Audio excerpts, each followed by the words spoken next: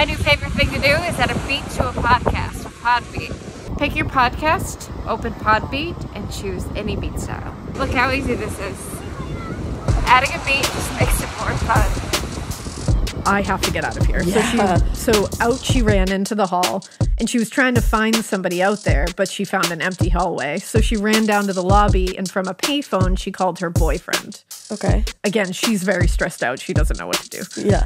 He agreed to come over immediately. She was never able to remember exactly how the next hour unfolded.